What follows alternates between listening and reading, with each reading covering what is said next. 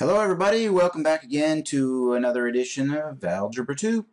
Uh, as always, I am your host, Mr. A, and uh, and today I'm uh, wearing a new shirt. Hmm?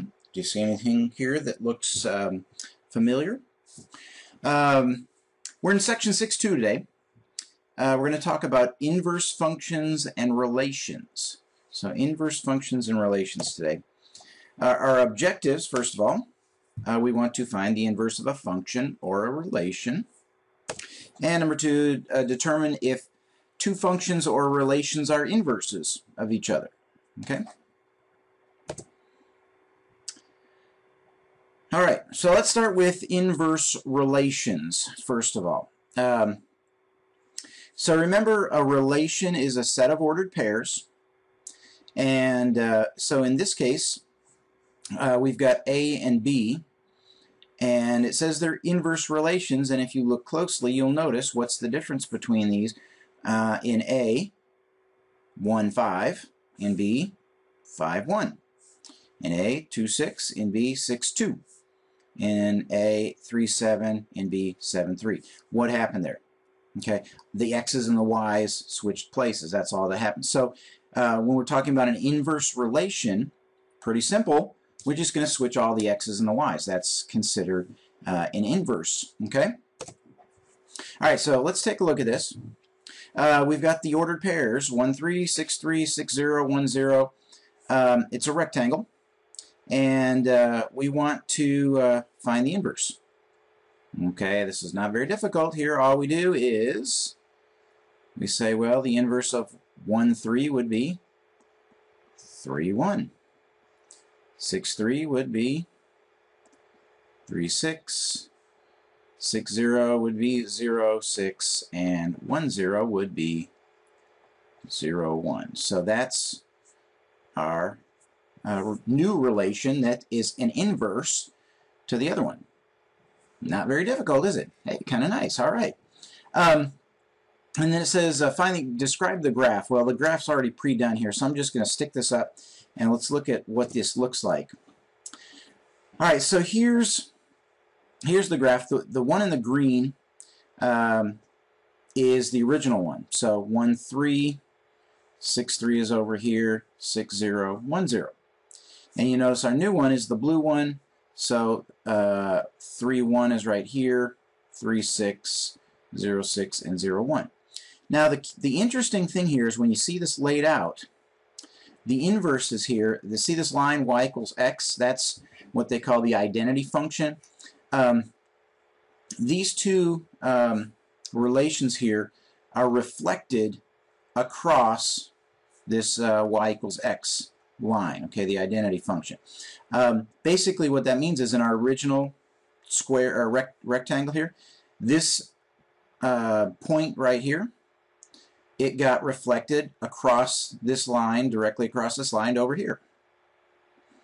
This uh, point down here at 6, 0 got reflected directly across over here.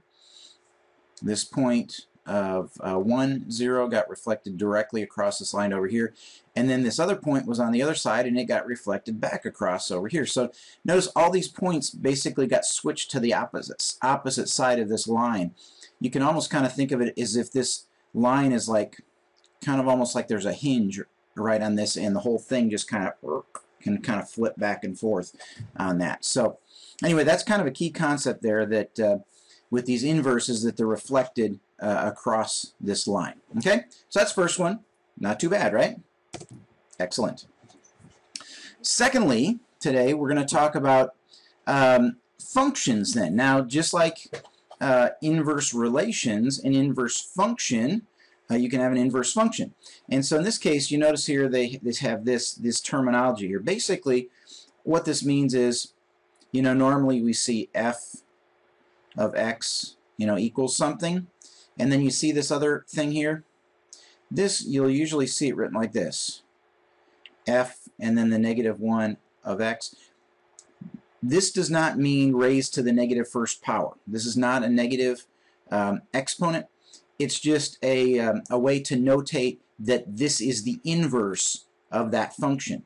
So when you see f of x, that's the function, the original function, and then this notation here means the inverse of that function, okay? So this is just a, a type of notation. It doesn't mean it's a negative exponent.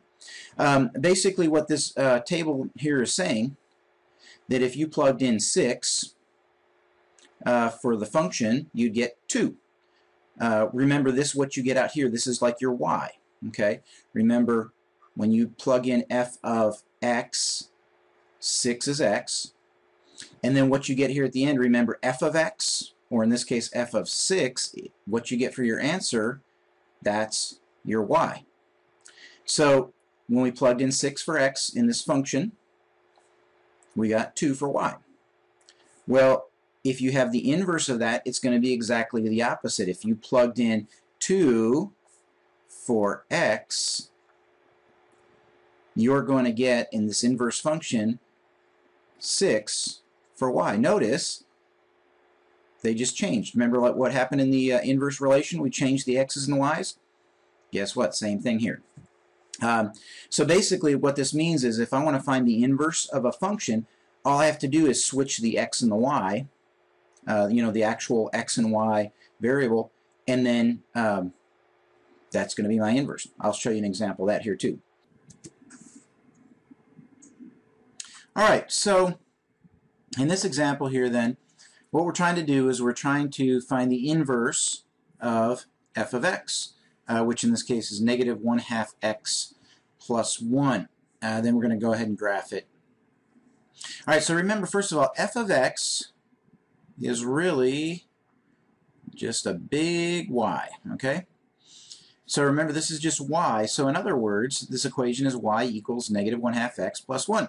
So remember what we were talking about with um, the relation where we switched the x and the y value. Here, we'll actually switch the variable x and y. So instead of y equals, we'll have x equals, and then negative 1 half, and instead of x, we'll have y plus 1.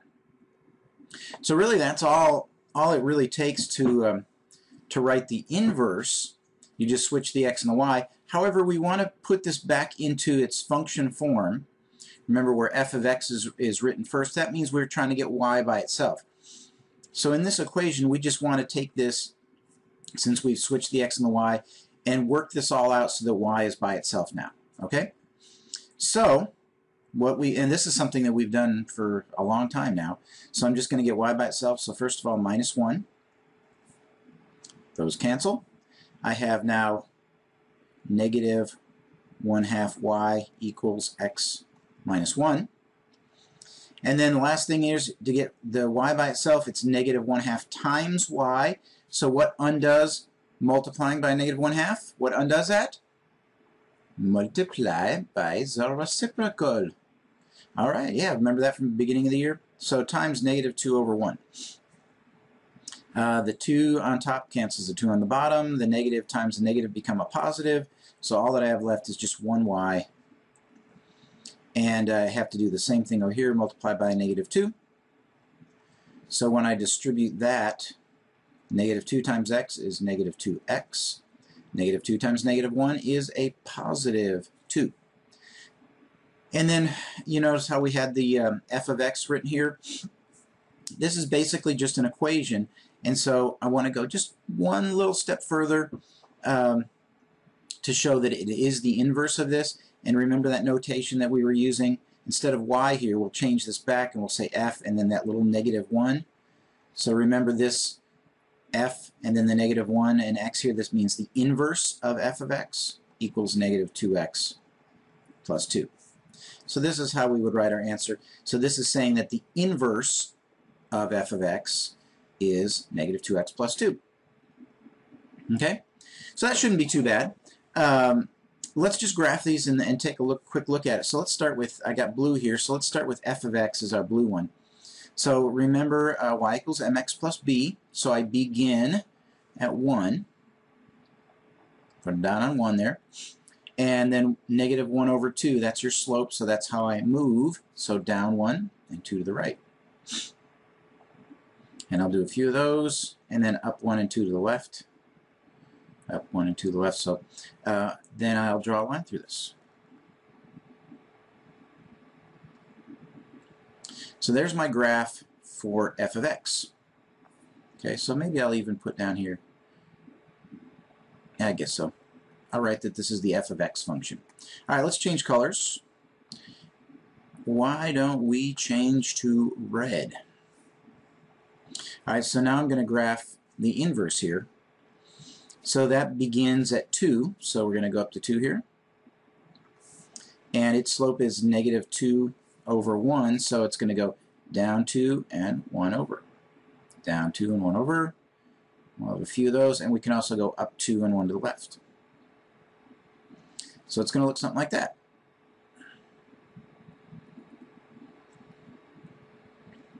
All right, so and so again, that's the inverse. So that's the inverse.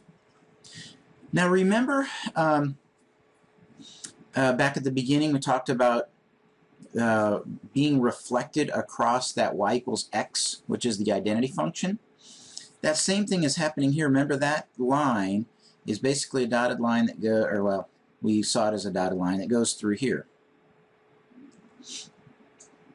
And so if you look at this, it's remember it's if something on the blue line, it gets reflected across that dotted line to the other side. So like if you look here, here's the point of 4, negative 1 that got reflected across here on the red line to negative 1, 4. The x's and the y switched. Here's 2, 0 on the blue. On the red we have 0, 2. There's um, on the blue 0, 1 and on the red 1, 0. So remember what we did in the inverse, the inverse of the relation where um, we switched the x and the y values? Uh, basically that's happening here. All the x's and the y values are switching. But you can see that you know every all these dots over here, you know this part of the line here got flipped over to I don't know where my pointer went there. There it is, flipped over to this side here, and these blue dots here on this line kind of flip down to here on the red line. So anyway, that's that's a key thing here. So again, this was um, y equals x. That's uh, that's the equation of that line. It's the identity function. Okay? So, all right, let's move on. Inverse uh, functions. Okay? Um, we've just been talking about the inverse functions. And um, there's really two different ways you can probably do this. This is, uh, remember what we just talked about, composition of functions? This is one use of that. Um, and then I'll show you another way you could do this as well that would work just as well. Um, basically, remember what we were saying there that uh, uh, originally remember the, the line uh, or our, our inverse, you know, they're reflected across that uh, y equals x line. So basically what this is saying is these two functions, f of x and g of x, are inverses if when we do these compositions, f of g of x and g of f of x, they both equal x. Or in other words, they both equal y equals x.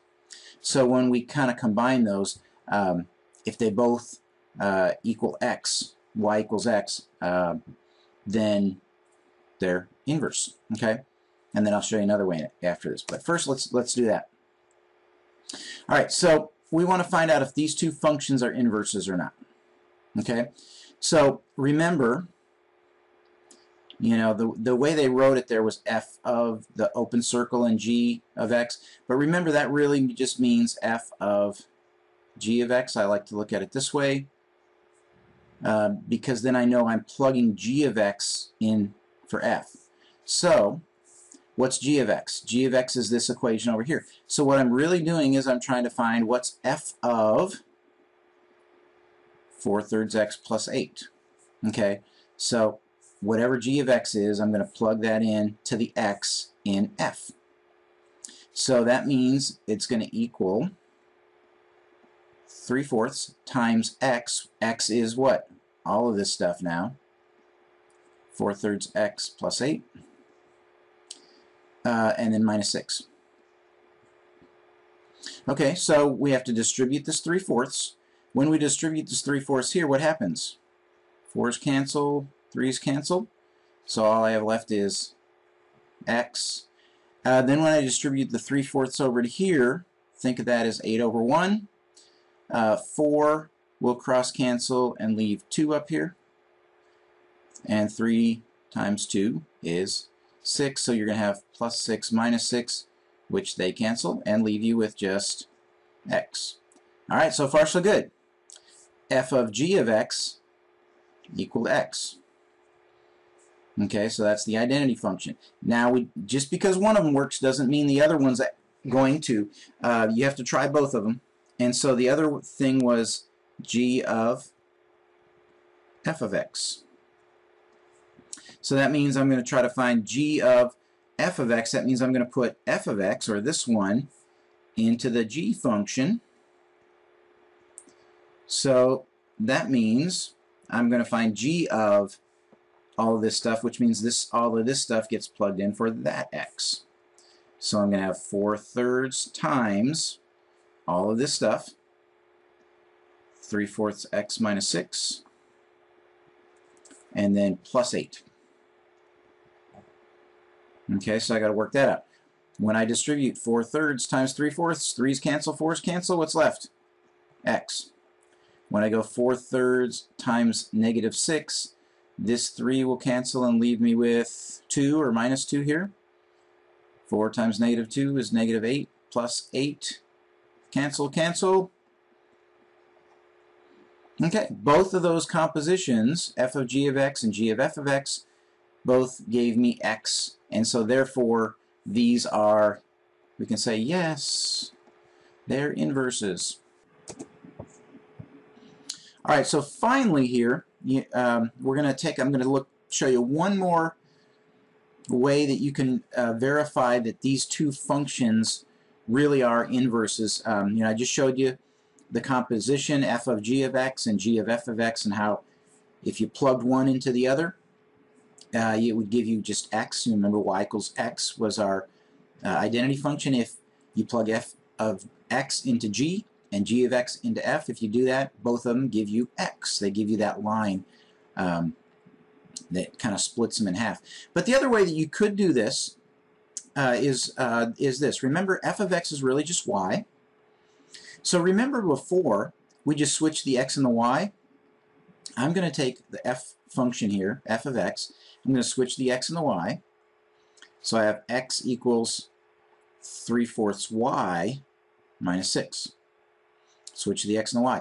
What I'm going to do is I'm just going to find out the inverse of this. I'll get y by itself, and if it matches the g function, I know that they're um, inverses of each other. So let's go through those steps again here. Plus 6. So this is going to be 3 fourths y equals x plus 6. Uh, again, what undoes multiplying by 3 fourths? Multiply by the reciprocal. So times 4 over 3 multiply this whole thing times 4 over 3. The 3's cancel, the 4's cancel. All you have left is a y. And then here when we distribute, that's going to be 4 thirds x. And then when we take 4 thirds times 6, think of this as like 6 over 1. So the 3 cancels out to be 1, and the 6 would be 2. And then all you do is you take 2 times 4, which is 8. And if you look, you see, oh, y equals 4 thirds x plus 8. Is that the same as this over here? 4 thirds x plus 8. It is the same thing. So therefore, when I found the inverse of the f function, it equaled the g function, so we know that they are inverses of each other. So that's another way that you could do that uh, problem. Instead of doing the compositions there, you could just um, do this. So hopefully that wasn't uh, too bad in this lesson. Um, and uh, hopefully this will be shorter than normal and a little easier than normal and so it won't be too bad. Um, so thanks for joining me and uh, just one last word of wisdom. Remember, I ate some pie and it was delicious. See you next time. Bye.